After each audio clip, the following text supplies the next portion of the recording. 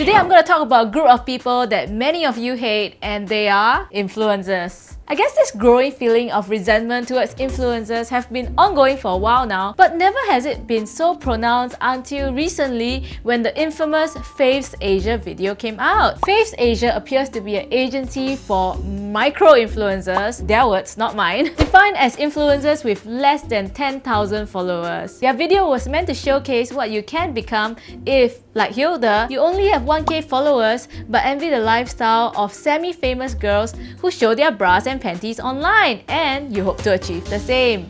Yeah, I've been stalking her for so long already. I even know what bra and panty she wears. Wow, eh, how about my bra and panty? No lah, but seriously, I also want all the sponsorships. You got how many followers? Um, like 1k. Yuda, so many fans already ah.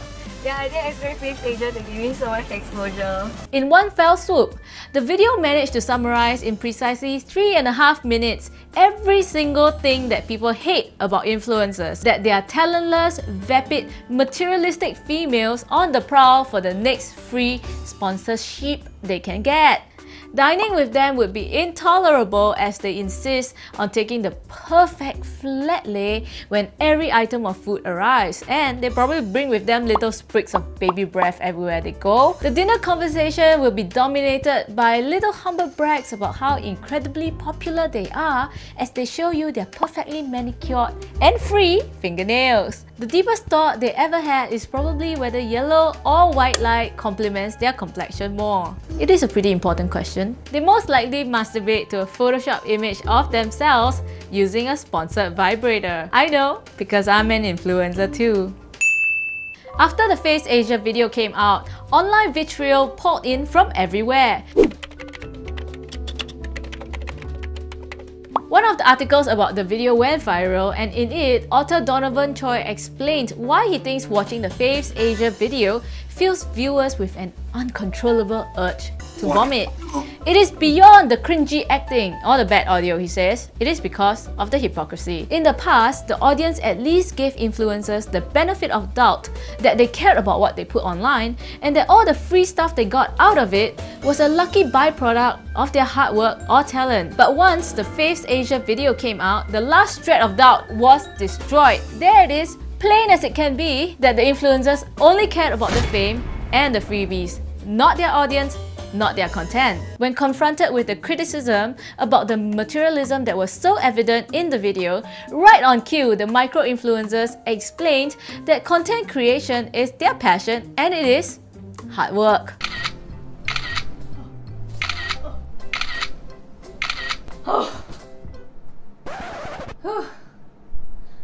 Tiring. I've linked to both Hilda and um, the random drink holding girl's response, and you can read their drivel below about how being an Instagram whore, I mean, sorry, uh, being an Instagrammer is truly hard work and requires much passion. And surprise, how they are not materialistic at all. In Donovan's article, he says that it's easy to tell that influencers are not truly passionate about content creation because their so-called creations are all the same cookie cutter variety. They all use the same tried and tested popular methods to get likes, followers, or subscribers, and none of them want to create something that's unique, original, or pushing artistic boundaries. I will agree that this statement is mostly true because how many people truly have a passion for creating the typical popular Instagram feed filled with the same whitish filters, the same flat lays, and the same yoga poses? Donovan also says that you can tell when influencers aren't truly interested in content creation because they rarely post about contentious topics such as politics, religion, or race relations. This is because they know that posting about these topics will cause a rift and they will risk losing followers or their sponsorships. And they would never choose to risk it because, God forbid, people unfollow them. On this, I have to disagree with Donovan. He's assuming that these so-called influencers who post selfies ad nauseum on their Instagram Instagram feeds have deep thoughts about social issues and refuse to speak out about any because of the possible fallout involved. I'm letting you know now, Donovan, that many of them do not even think about anything beyond the next hair color that they should have. Most of them don't even have a blog. Their entire thought process is contained within Instagram captions. It isn't so much a careful, calculated effort, but rather a genuine lack of care about anyone but themselves. Not saying that there's anything wrong with this. After all, many young people tend to be apathetic about social issues and self-involved. I'm just stating facts as fact. As for YouTubers, I think it's fair to say that a comedy channel will be reserved for comedy. Why would you expect to see politics in it? It all feels a little confusing because how can we tell who are the influencers who are simply copying a tried and tested method to get the same freebies that their predecessors did? And who are the influencers perhaps a little less deserving of hate because they seem to care at least a little bit about their content creation? How do we know which influencer is genuinely passionate and which one is just in it for the money. After all, there's a difference between someone who's just posting authentic stuff, suddenly finds herself rather popular and decides to monetize it, yours truly, versus someone who starts out aiming to be popular in the first place and as such will pander to anything and everything that will help achieve that aim regardless of whether it's true to herself or not. The second one feels insincere, desperate and kind of fake. Is there even a way to tell the fakes from the real or are most people just somewhere on the spectrum? If one of the ways to find out is by checking if an influencer is only posting things that their audience likes, then is it fair to say that since my audience likes controversy by having controversial content, I am actually pandering to what they want. Am I now also insincere in content creation? Ah, okay, geez, I'm having an existential crisis right now. Help. Beyond the insincerity, I think many people also feel disgusted by influencers because by and large they are indistinguishable from each other and since many of them do not appear to be particularly hardworking or talented, people don't think that they deserve any of the sponsored high life that they are having. So, my question to you, my audience is, what type of influencer do you like and what type do you hate? After the Faves Asia video went viral, many people did parodies and Clicknetwork did one as well. If you haven't watched it, the link is down below. I star as Hilda and many of Singapore's prominent influencers are in the video as well. In the creation of the spoof, we made sure to not appear condescending by letting people know that what they perceive to be the perfect, glamorous influencer life may not be like what they see on social media.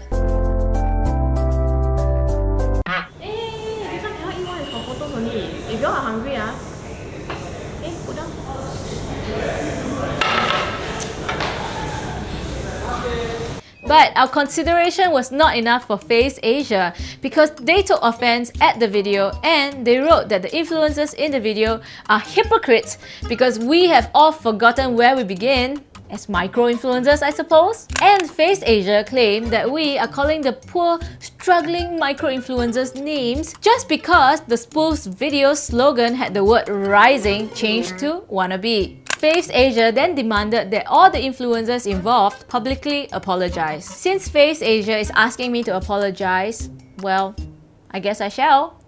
Cue the sad music. To all the micro-influencers, I'm sorry. I'm so sorry that Faves Asia made you guys look like wannabes. That's right, it's not the spoof videos that made all the micro-influencers featured look like sad, desperate wannabes. It is Faves Asia itself! The boss of Faves Asia came out to say that the video is meant to be deliberately cringy to get attention. But what he neglected to realize or failed to give a fuck about is that in the process of wanting to create something that goes viral, he disregarded all the influencers in the video who are now seen as jokes. If you want to be in a video that features you looking sad about having 1000 followers and looking delighted later on when you are driven around in a Maserati and sipping champagne, you can hardly be surprised that people think that you are a materialistic wannabe. Really? Did it come as a shock? And an apology for calling you guys wannabes? Are you serious?